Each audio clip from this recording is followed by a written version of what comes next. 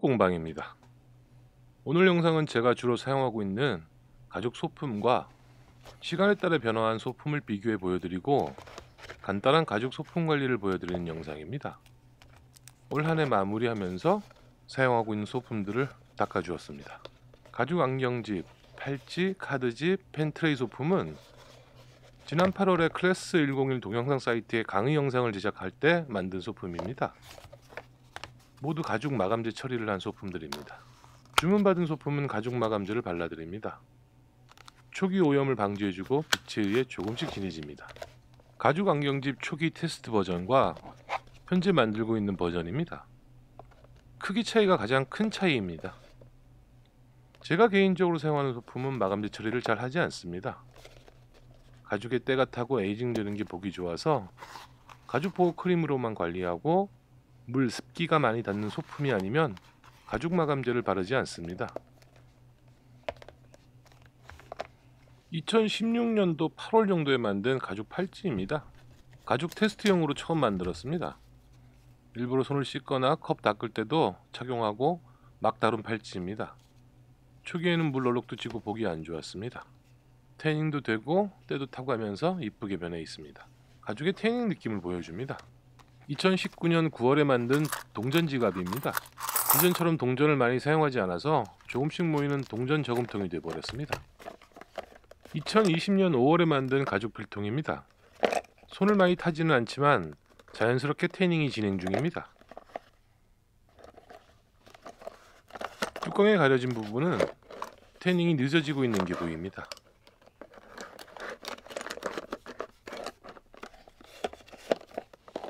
2017년 1월에 만든 지퍼 반지갑입니다. 4년 정도 사용하고 있는 지갑인데 검정 베지터블을 사용해 만들어 사용 중입니다.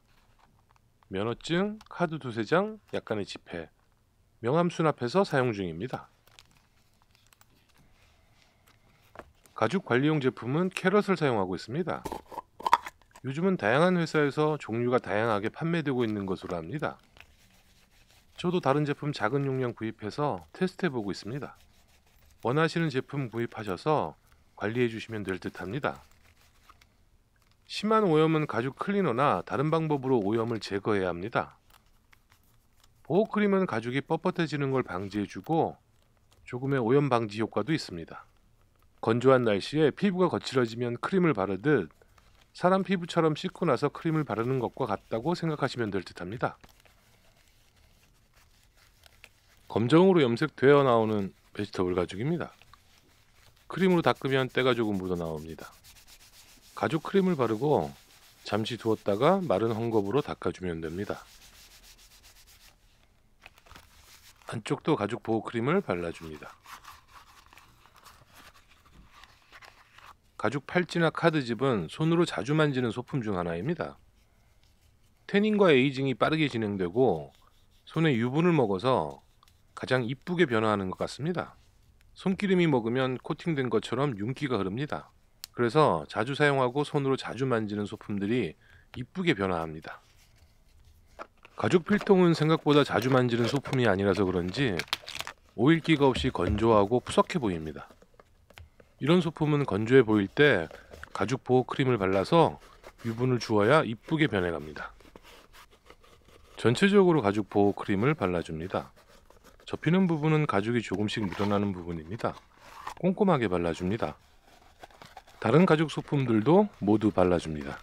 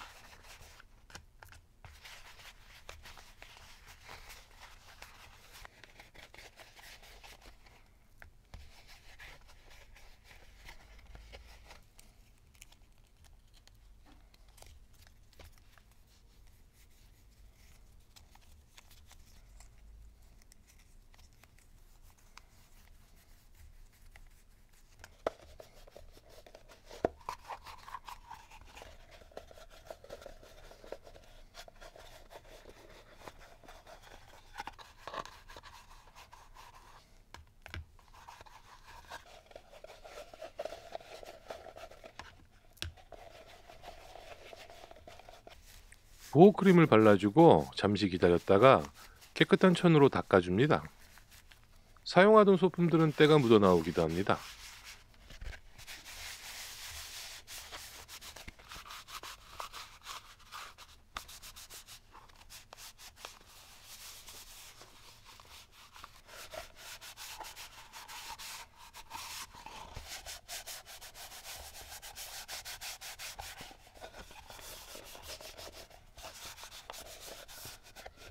접히는 부분에 가죽 보호제가 고르게 발라지지 않았었나 봅니다. 가죽 크림이 스며든 부분은 진하게 변했습니다. 건조되면 다시 베이지 컬러로 돌아옵니다. 사용하던 가죽 소품들은 조금씩 때가 묻어 나옵니다. 닦아주고 건조 후 사용하면 됩니다. 건조라기보다 가죽에 스며든다고 보는 게 맞는 것 같습니다.